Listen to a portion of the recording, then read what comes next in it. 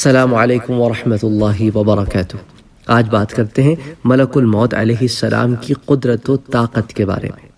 حضرت سیدنا عبداللہ ابن عباس رضی اللہ تعالی عنہ سے پوچھا گیا، دو شخصیں ایک مشرق میں اور دوسرا مغرب میں۔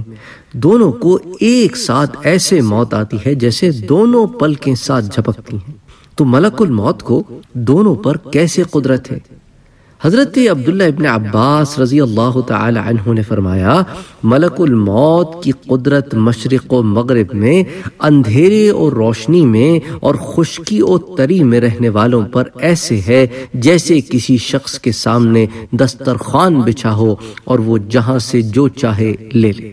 اسے الموسیعہ میں ابن ابی دنیا نے روایت کیا ہے، کتاب ذکر الموت، باب ملک الموت و عوانی حدیث نمبر 234 حضرت عبداللہ ابن عباس رضی اللہ تعالی عنہ بیان کرتے ہیں کہ ملک الموت علیہ السلام ہی ہر جان کی روح قبض کرتے ہیں۔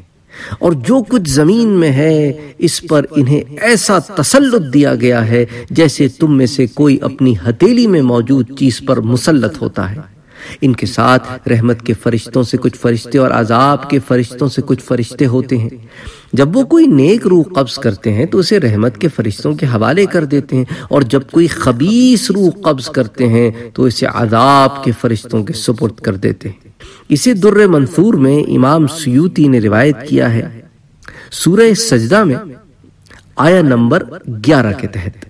اسی طرح حضرت ابو المثنا حمسی رحمت اللہ علیہ فرماتے ہیں کہ دنیا کا آسان و سخت ملک الموت کے رانوں کے سامنے ہے اور ان کے ساتھ رحمت و عذاب کے فرشتے آسان و سخت سے مراد کے انسان چاہے کسی بھی طبیعت کا ہو، آسان طبیعت ہو، سخت طبیعت ہو، وہ ان کی رانوں کے سامنے اور ان کے ساتھ یعنی ملک الموت کے ساتھ رحمت اور عذاب دونوں کے فرشتے ملک الموت روحیں قبض کر کے جو رحمت کے فرشتے ہیں اور جو عذاب کے فرشتے ہیں، ان کے حوالے کر دیتے ہیں ڈیپینڈنگ کے وہ اچھی روح ہے کہ خراب روح ہے۔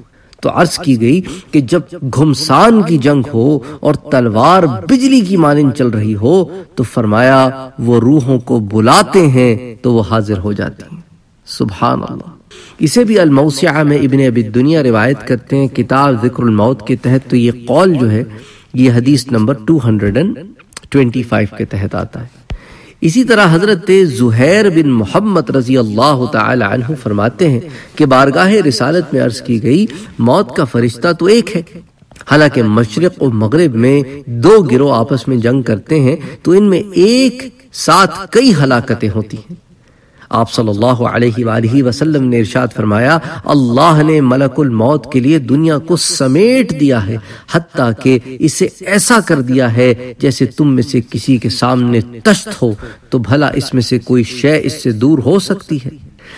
اس روایت کو در منصور میں روایت کیا گیا ہے، سورہ السجدہ میں آیا نمبر گیارہ کے تحت۔